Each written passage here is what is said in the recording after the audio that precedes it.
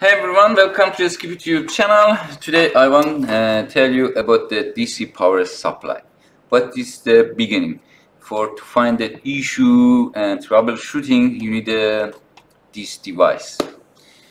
Now I want to explain about this, but next video I start to tell you about the general structure, uh, about the main issue. Uh, this is my course my course, uh, just I want to tell you we have a five main issue. This is very important. After this video, I made it. I make it. But this video just I tell uh, I want to tell you how to use the this one, how to find the main issue.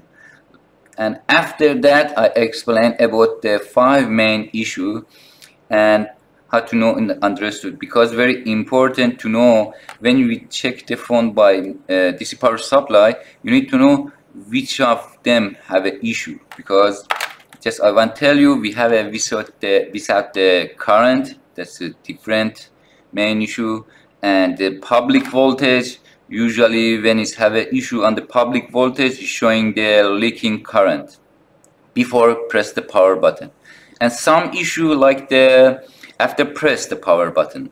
When you press the power button is DC power supply showing the use the current but its phone not turn on. This is the third one. And another one is the we said hang on the logo. Hang on the logo uh, have a two types uh, different issue. One of them is software or another one hardware. Well maybe usually this a uh, this problem for the hard drive. That's if it's iphone we said nand or if it's the android phones we said eMMC or ufs or may have a, another hardware issue that I want to tell you very simple about uh, all of them. And the last main issue we said about the uh, phone after turning on.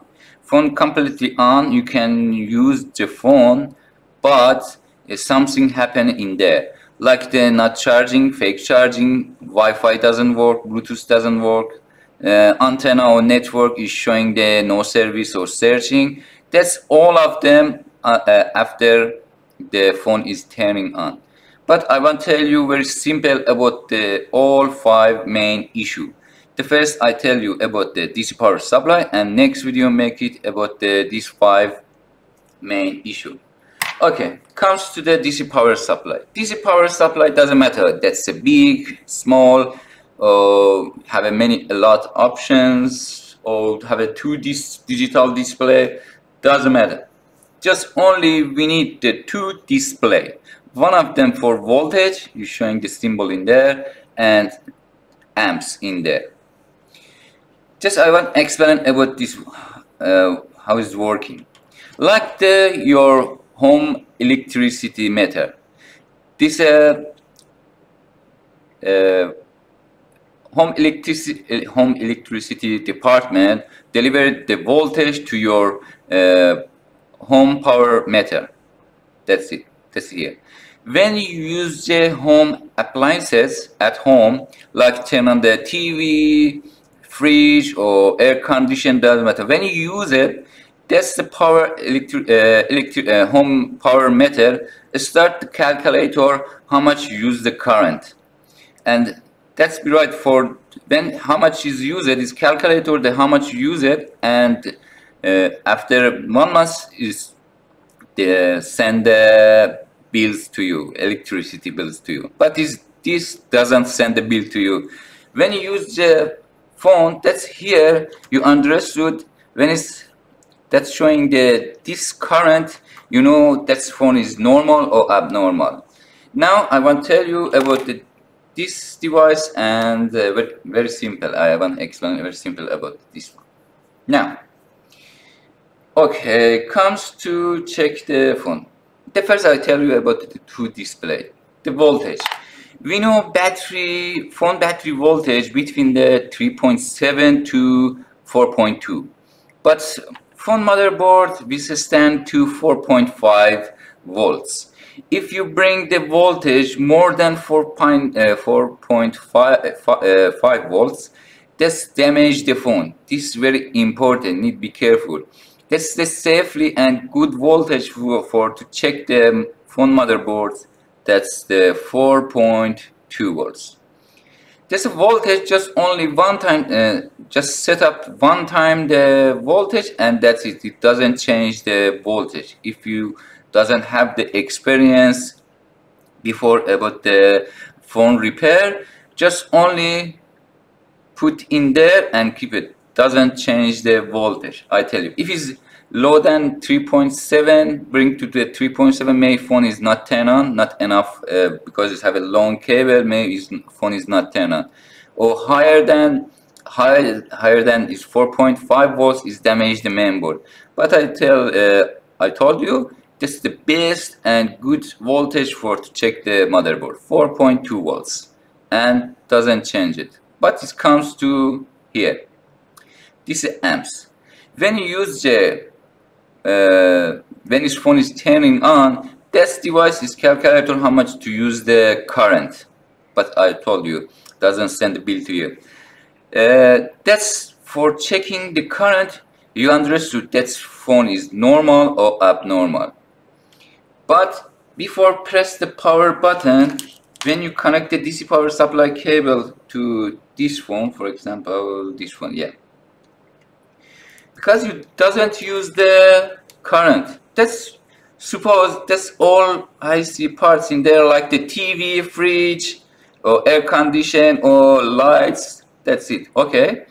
But you come to home and you doesn't turn on the anything. That's mean this doesn't calculate or you use the current because you you not turn on that's a phone is uh, not turn on when you start to press the power button, that means you want turn on all of them.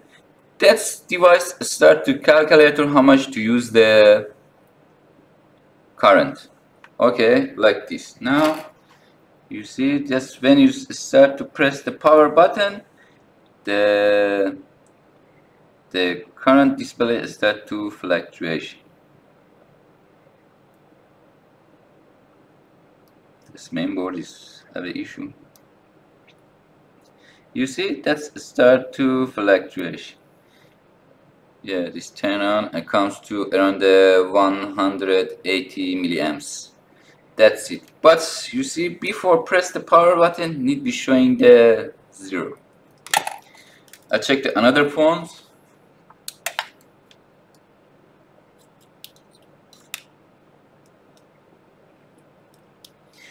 you see again is the zero. That's may that is the normal. The first beginning is a normal. After press the power button need be show me the current. That will start to calculate how much to use this phone how much to use the current. You see around the 100 milliamps and comes down. But if it's before press the power button you see Uh, DC power supply showing the leaking current like this phone.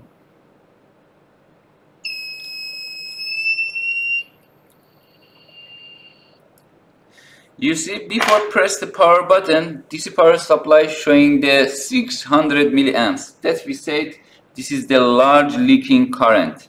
That's 100% have an issue on the phone before press the power button you need to find that this one because phone this is the abnormal need be fixed the phone before press the power button. And because this have a large current that means with finger you can find the parts because that's use the high current that start to heating. The temperature goes up it's like this here is have a heating there. Okay just I want to tell you about uh, this device and how to find the issue. But uh, I want to tell you, you watch the next videos about the five main issues. Just have a, a lot information about uh, a, a lot information about the troubleshooting. That's it. I hope this video helped you. Thank you for watching and I see you next video.